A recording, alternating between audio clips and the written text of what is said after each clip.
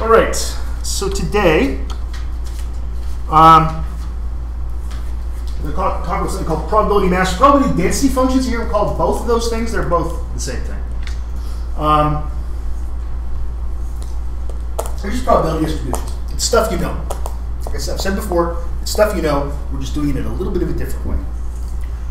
So um, let's slow it. You can plot the probability of any given score, any given value of a variable. That's just a thing you can do. One can do that. Now, the probability of all possible events is 1, because probabilities can't go any higher than 1. If a probability that you've calculated is higher than 1, you made a mistake. It is impossible it to be higher than 1 because it's out of 1. Right? It's like how correlations can't be bigger than 1.0. It's just, it's the way the math works. It can't happen. When I taught 2126, I would always trip people up on which correlation is bigger, negative 0.7, positive 0.4, or 1.6. Well, 1.6 isn't a correlation, so we can throw that one out. Same thing here. You can't get a probability bigger than 1, but if you got all the events, all the possible events, the probability of all of those together is 1. Right? You know this. If you didn't know it, now you know it. So that means the area under that curve, if we're plotting probabilities, if on the y-axis we have probabilities, and on the x-axis we have the values, that means the area under that whole curve is equal to 1. Does that follow? That makes some, I hope that makes some sense, right? So if we were to calculate the area under the curve, it equals 1. It's because it's probability, and the probability of all the possible events equals 1. Well, what else could it be? If it's less than 1, you don't have all the events, and if it's greater than 1, well, it can't be. You've made a mistake. Okay. Do you have any questions? This is kind of important to understand this. Okay. So here's a roll of a die. The various probabilities of the different die rolls. Now, I will say that let's ignore the widths here. Yeah. So they're one unit across. And they're 0.167 high. They're 0.167 high. Because the each the probability of each roll of a die is one in six. Uh, a six-sided die. Not a 22 sided die, and I'm going to roll my character, not that kind of die. Right? Grow up. I kid, I kid. I, I don't play those games, so I, mock, I play other games. I play games where I pretend I run the Montreal Canadiens. So it's perfectly, that's perfectly sane. Huge free agent signing signed TJ Oshie. Yep. I also pretended yesterday to be a soldier in World War One for a while. Also pretended to be an assassin. But pretend, but but Dungeons and Dragons is stupid. So all that other stuff is completely manly and cool and grown up. So the thing, I'm kidding. My daughter plays those games. It's great. I think it's wonderful. I, I just never could get into it. It's fine. It's a six-sided die. Each roll is equally likely. One in six by one six seven. We take one, that's one six, two six, three six, four six, five, six sixths. Ooh, that's one. Where is six six six? uh, I just have fun. I, I don't really care. Um, I was going to start doing an Iron Maiden thing there. I decided against it. Wisely. Okay, this is great. Does that make sense, right? Okay, so that's the last time you graphed the likelihood of rolling a dot. No, you didn't. Good. That makes you, that's, you know, you're a loser. The other kids let you know it if you're doing that. But the normal distribution's cool as far as distributions go. So here it is. Uh, it's got mu in the middle with zero. This is a standard normal distribution, so it's mean of zero and a variance of one. So plus or minus one standard deviation is about uh, the ones here, yeah, is about 68%, plus or minus two standard deviations is about 95%, plus or minus three standard deviations is about 99.7%. Which it's called the, it's got a name, it's a Russian guy's name, it's some, somebody's rule. I call it the 68, 95, 99.7 rule because I never can remember the guy's name. Put that over there, smaller.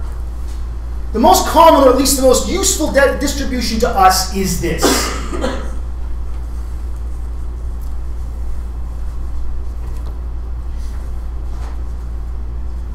we kind of sell you on the notion that this is the most common one. I don't know that as many things that we say in statistics books are normally distributed actually are.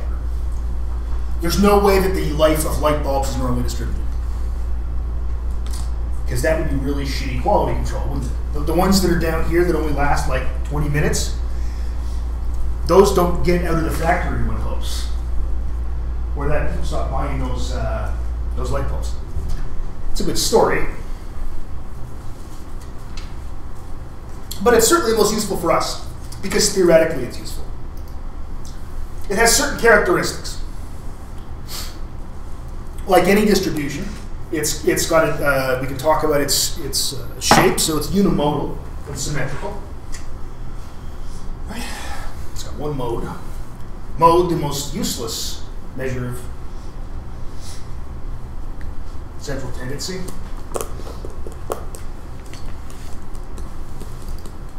It's symmetrical, as I mentioned, and it's bell-shaped, people say. I see why they say that.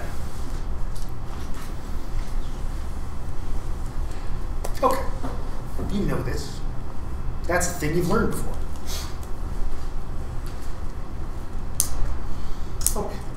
So that's all great. You've all learned this before about the normal distribution. It's, it's run, you've run into it before. Why is it actually useful for us to know about the normal distribution, I guess is the question.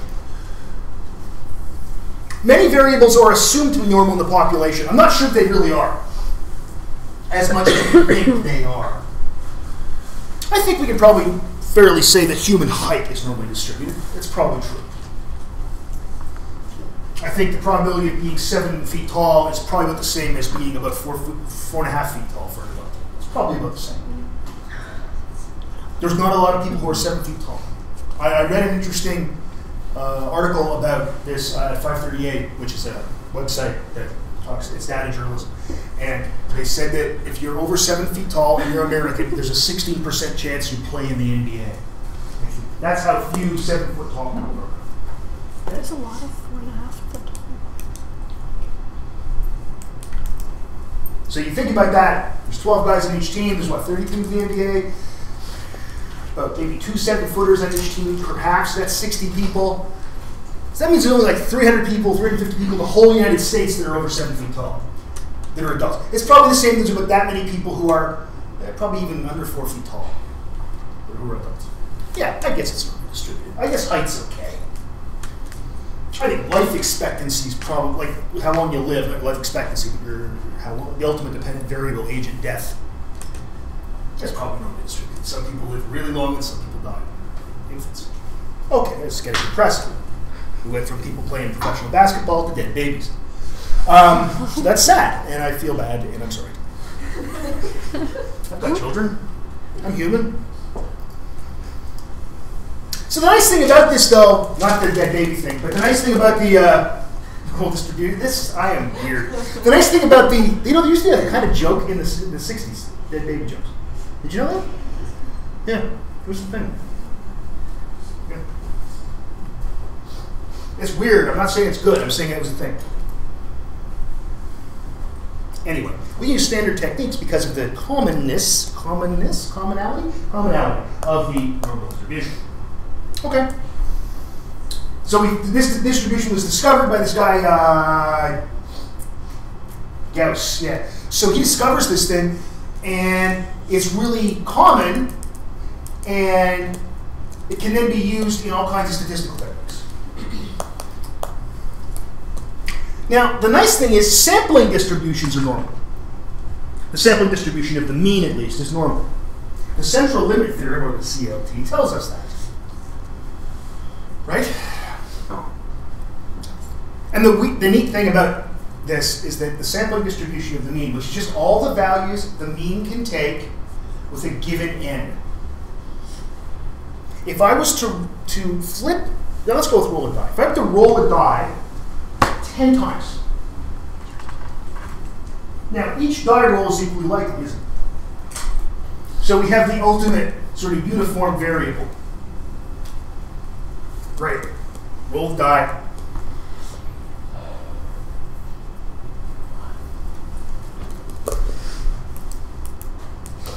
And I roll it 10 times.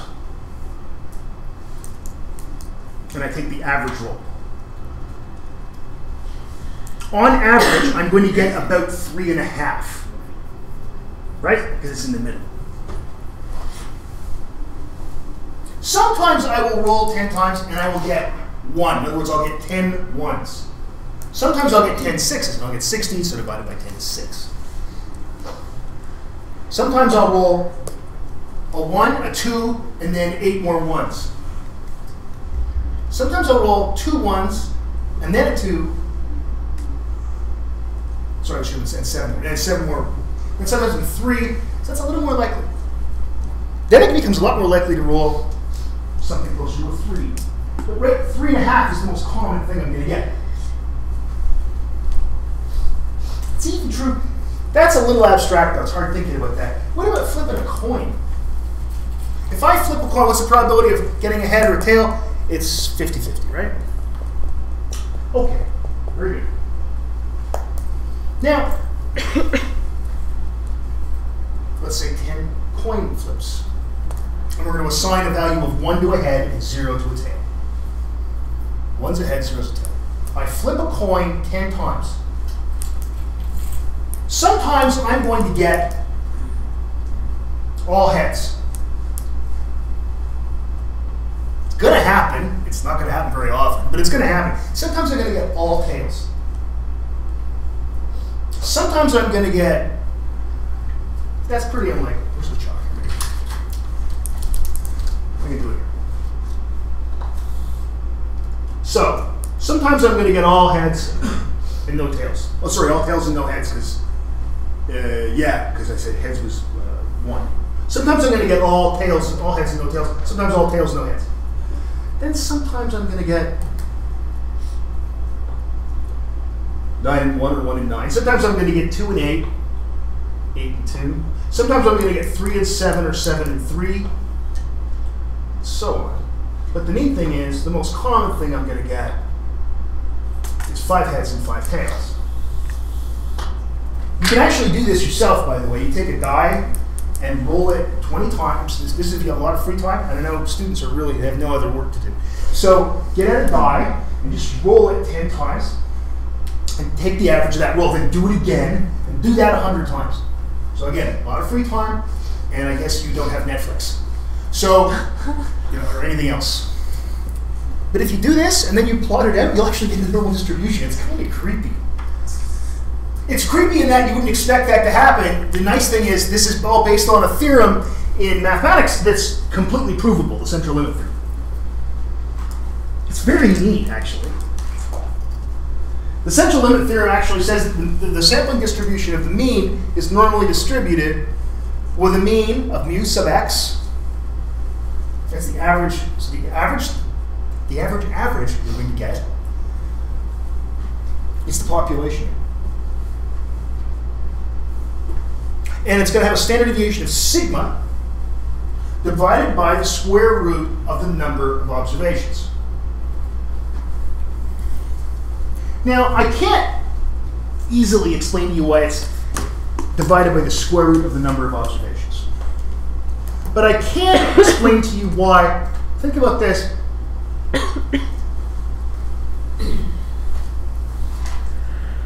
the variance of this thing is going to get smaller and smaller the bigger n gets. Because remember, this is the variance of, well, something like this, the average of the averages you take.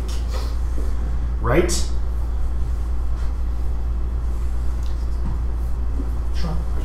People hide things. I mean, it's all me, but I'm just going to say this. Because nobody's been here since yesterday. Okay. So this, this part's easy to get, the normal, because talk about that. This part's easy to get me because, yeah, it's the most common one for the for the uh, variable itself is going to be the most common uh, value for the sampling distribution. I mean, for the standard deviation, hmm, why is it that? Well, like I said, it's hard for me to explain without doing a proof that I'm not going to do and probably can't remember how to do anyway. This to prove that it's divided by square root of n. But what happens the bigger n gets? The variance of the sampling of, of, of, of the sampling distribution is smaller.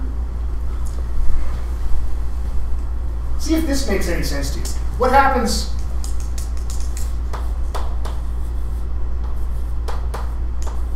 You know what that means?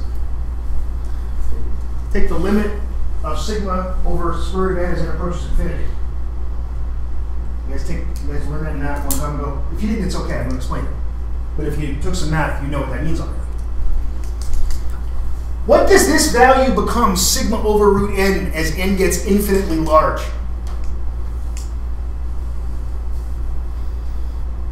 If n is infinitely large, what's something divided by an infinitely large number? Zero. Right? If I have a, a, number that's so big you can't even imagine it, and I divide some number by some number that's so big you can't even imagine it, it's zero.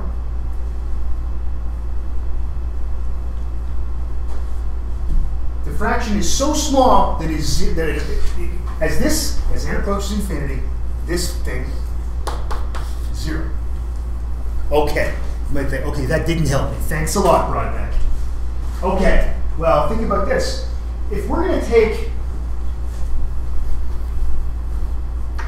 let's say our population is the height of Algoma University students. And we're going to do, we're going to sample 10 people and get their average height. And we're going to get a variance in that, because we're going to do it 100 times, 1,000 times. We're going to get a variance in that average that we get each time. What happens if we sample 500 people? It gets that variance gets smaller, doesn't it? What happens if we now measure everyone who goes to the university? And then we do it again, and then we do it again, and then we do it again. What's the variance? It's nothing because we're just calculating the same number over, over, over. Okay?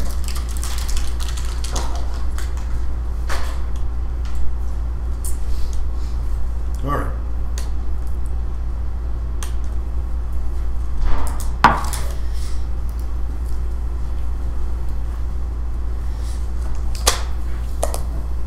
So, some properties of, of, of, these sampling distributions, or of any distribution, of probability mass functions.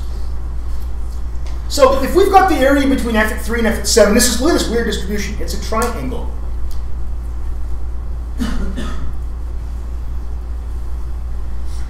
and we want to know the, the probability of getting a value of between 3 and 7. That's something we can do.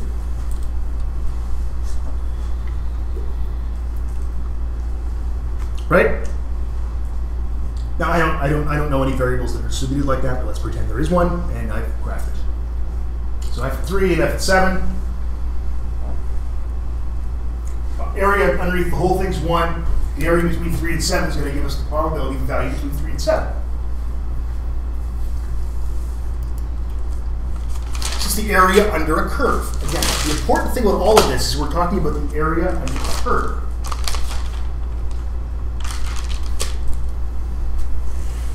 Well, in the case there with the, the triangles, it's pretty simple.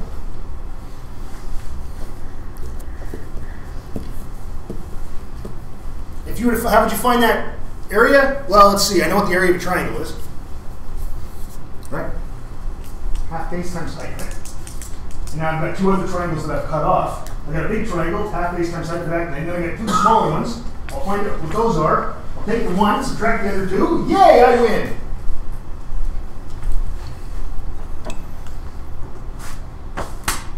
Except that things aren't distributed as triangles. So here's who's taking calculus. It's cool. Very good. I think I asked you that, right? Is there a reason you took calculus? No. You didn't like it, obviously, did you? No. No. It's okay. Took it because I was good at it. That's, that's, that's as good a reason as any you think, of course. So you were good at it though? Um, Like, reasonable? Yeah. Best as I can. Okay. You took it here? Oh, no, not here. It was in high school. But even in high school, that, the, the of calculus we're talking about is high school calculus. Nobody else here took any calculus? Really? What do they teach people in school now? You just have to show up and you get a B plus, right? And that's how high school works, right? And if you put your hand up once, you get an A. That's basically high school, isn't it? Pretty much, right? Okay. I took calculus. I took first year calculus for math majors in university because I'm an idiot. We, we had it was a prerequisite. They still be at Western that to take psych stats you had to take a first year math course. But they had a first year math course for non math majors, which is a good thing. I mean, it's a, it was basically just straight ahead linear algebra, really nice. And I'm like, well, yeah, I'm really smart. I'm not taking that. I'm going to take calculus for math majors. Only non math major in the class. Yeah, so that was good. Um, I did okay. The last two months of the course, so a full year long course, I literally understood nothing. I just sat there, I don't know. Maybe last month, yeah, March. All of March, I had no idea what was going on. All the way up to March, it was like, this is just like high school again, and it was easy. Then it got to the hard part.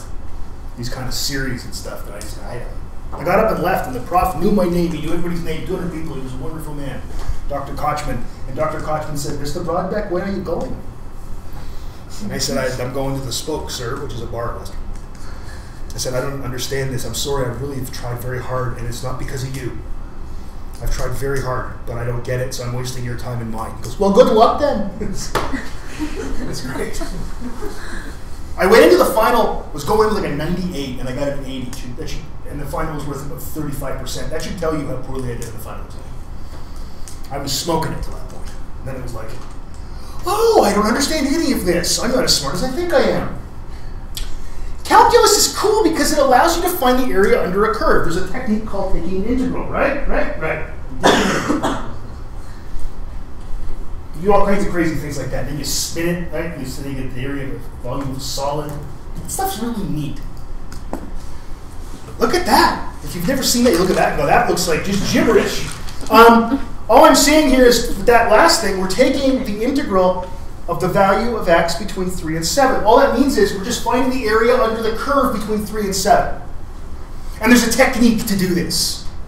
There's a, a bunch of techniques. You learn to do this. Isaac Newton and Leibniz as well just discovered this property of the universe, that this thing called calculus. It's really neat, actually. It's really neat.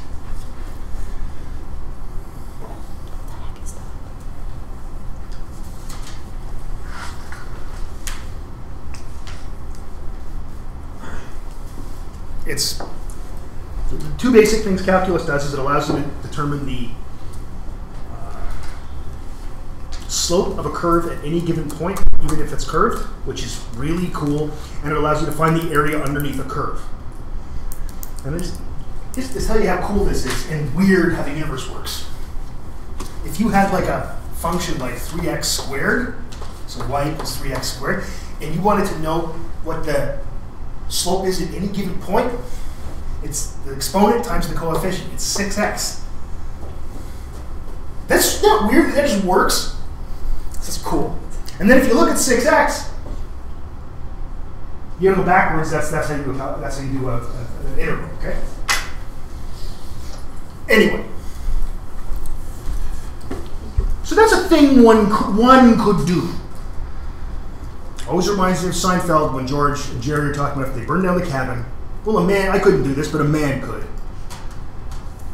I don't know calculus. Well, that's too bad.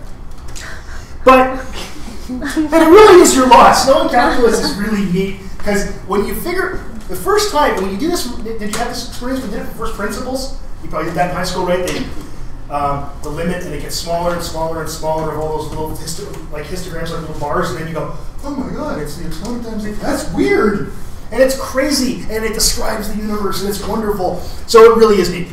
So it's too bad that you didn't do it at some point in life. Even just for the hell of it, learn a little bit rudiment- rudimentary level. It's cool as hell. But it's okay if you don't. Even if you want to go to graduate school and be a professor, you don't have to know calculus. I will bet you real money Lori doesn't know any calculus. No, I would. I'm pretty sure she does. I think I think Cheryl did a bunch of math in university. I know Paul did. I did. But I bet you Lori doesn't. Oh, Lori's smart. A little scary.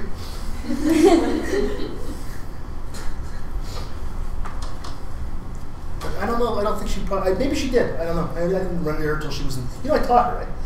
But she was in second year. So I taught her here. Yeah. There was a time, so we hired her, and then we hired Paul, which you know that was a mistake. But then, but then later we hired another guy who's on um, uh, what do we call it? Uh, leave. Yeah, I guess it's kind of like leave. He's at, at another university working for now. He may come back, he may not. I don't know. A guy named Dwayne, and I taught him too. But I taught him in Newfoundland. I only we so there was a time we only hired people I taught. Yeah, I taught her. I taught her this course. She TA'd this course. Anyway. Well, that's the that, there's the function of the normal distribution. What a nightmare! Look at that thing. So if you're to graph it, y f and x or y equals one over the standard deviation times the square root of two pi times e to the negative x minus u over 2 times the variance squared, and you say to yourself, what's e? It's the base of the natural logarithm. Wow, 2.71828 is close enough. It's like pi is 3.141592. Okay, don't worry, I'm never to ask you this. Don't worry.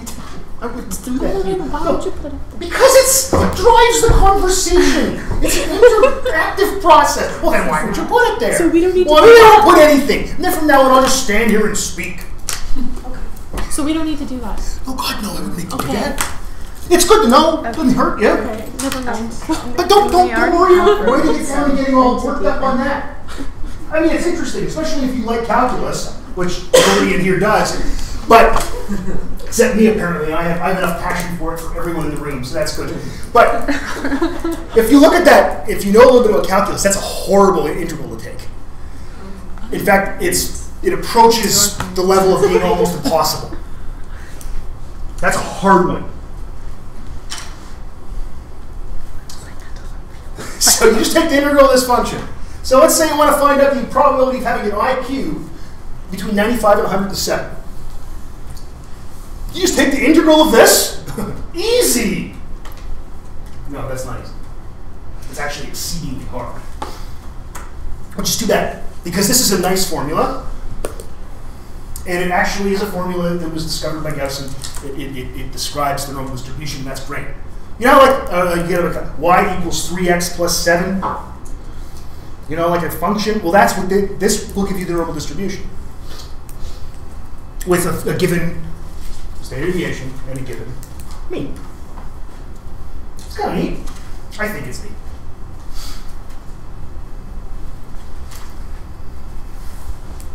Okay, it can be made a little easier. If we make the mean zero and the variance one, the standard normal distribution, you get a somewhat simpler equation. That doesn't look quite as bad, does it? Because I put a mean of zero and a standard deviation of one in. So it's not quite as looking. There's still, it's still pretty nasty. That's still a nasty integral thing. It's still hard to take that integral. It's, it's hard. But one could do it. that stops being really super nasty hard. It's just hard.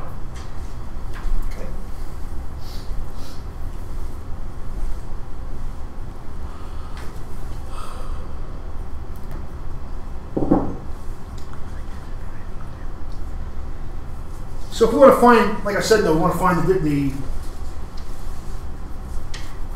probability of having an IQ of between, what did I say, 95 and 107. That's the kind of questions we ask you in, in intro stats classes, which is something no one would ever care about. But, and the reason we use IQ is because we know the standard deviation and we know the population mean, because the tests are designed that way. And it's exceedingly rare when we actually know a population mean. Oh, uh, sorry, a variance. But in that case, we do because the tests are designed that way. So that's, that's great. So we can use them. So from first principles, in fact, what you're doing when you're doing that question, not when you're So when you're, when you're asked that question, you're coming up with an answer when you took 2126, is you actually are looking stuff up at a table, but you're doing it on the back of people doing calculus for you, who did the probability of any given value of a z distribution, zero and one, right? And they then calculated the area under the curve up to that point and past that point. In other words, they did that horrible, nasty integral for you. So when you look up something, not like when you look up something in a z distribution, or for the Americans listening in, a z distribution.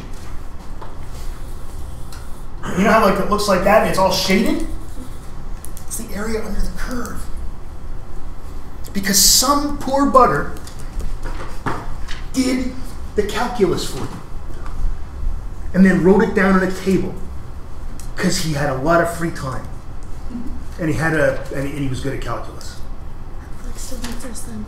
You should now every time you look something up in a table like that, think to yourself, "Thank you, poor unnamed graduate student from like 1820." Well, not quite that old, but you know, because somebody did this for you.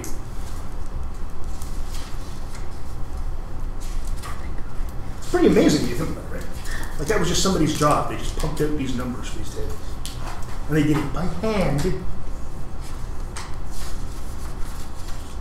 Because they learned to do calculus, making them better people than all of you. But we're a breed apart, must be. We're the calculus people. I hardly remember any of it. I can look back through a calculus book and there's savings there. You know, like I can look at it and go, oh yeah, that, and I can read through it and go, I remember to do that. Uh, like the product rule and all those. Like I, oh that's the thing. Oh, you do that. I still have my grade 13 calculus book. Yes, I'm old enough that it was called grade 13. There was an extra grade of school called grade 13. It was awesome. And you took calculus. I took three math classes because again, a little crazy. Calculus, algebra, and functions why I do certain things, and I go back and, my, and talk to 18 Dave. Say, you know, a few things. First of all, that's a lot of math. But keep taking that, that's good. Then I'd say, like, don't worry so much. then I'd say, take some, go lay some bets that one day Donald Trump and Justin Trudeau will run, run North America.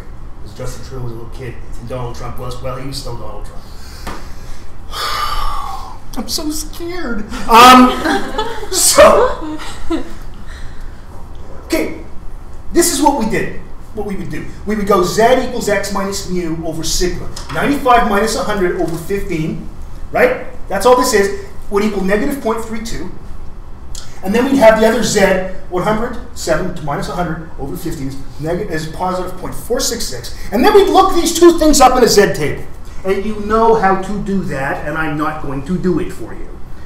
Right? You did this before, it's not too hard. And this is just like I said about me looking back on calculus. Right now you think, I couldn't do that right now. Yeah, you could if you had to. You really could. It's not something to worry about. I think I just winked. That was weird. I hate when I do. I don't want to ever be that guy. That's like being this guy. You know? No. Hate those guys.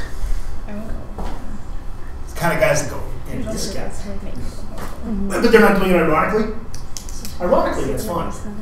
But I don't ever want to be that guy. I hate that guy. so yeah, you do this. It's not that hard. You could do it. But what you're actually doing when you find these probabilities, so between the z of uh, negative 0.32 and positive 0.466, you look those two values up, you add them together. But what you're doing when you do that actually is you're finding out the values from this calculus, from underneath this curve, that someone else has done. So this is why we standardize our, our, our data using the z distribution uh, to make it, I don't know why I did that, shouldn't have done that, that's weird, um, to make it normally distributed with a mean of zero and a variance of one. It's because once we do that, which is what I've done here, it allows us to then use a table where the calculus has already been done for us. That's what, what happens. Okay?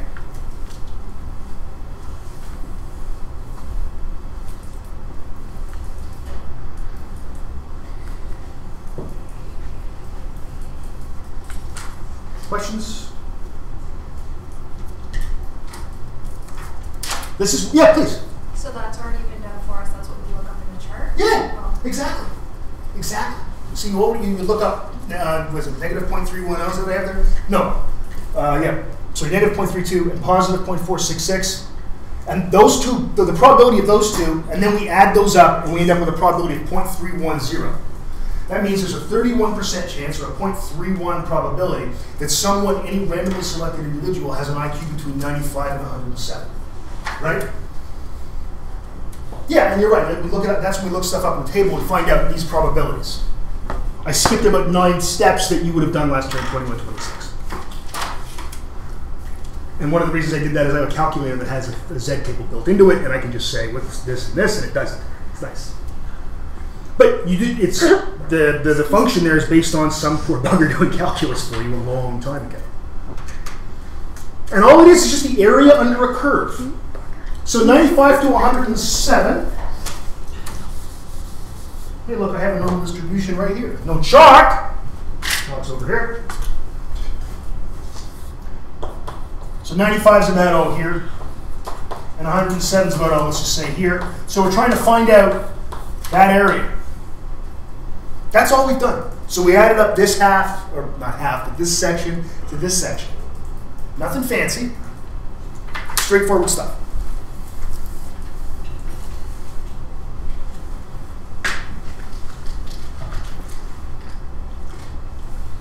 Other questions? That was a good question.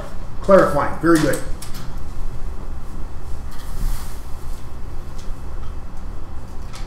Okay. So someone did this calculus for you, some unnamed person. So now you can just look it up in a nice table, nice Z table. Or you can actually, there's, there's a link on here, um, which oddly doesn't work from when I'm doing a presentation, which makes no sense. But here's the link.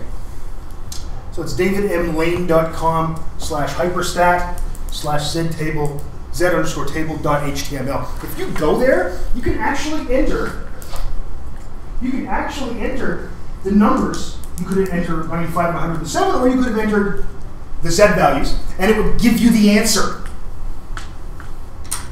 So you don't even have to do, um, to calculate it with z equals x minus mu, whatever. It's really straightforward.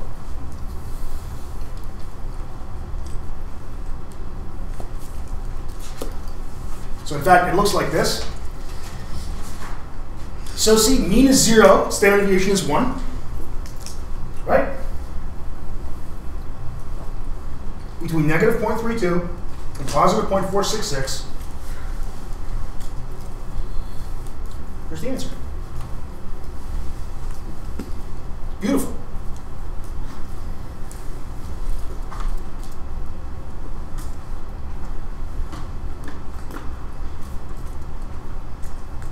This David M. Lane, Lane guy is a stats prof somewhere. He just put all this stuff online. Good for him. Thank you, David M. Lane. You're a good man.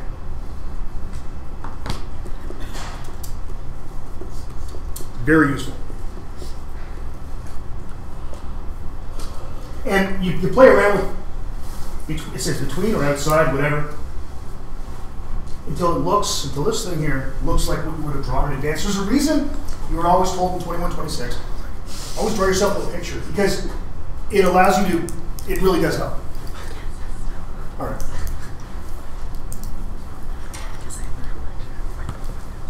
Questions?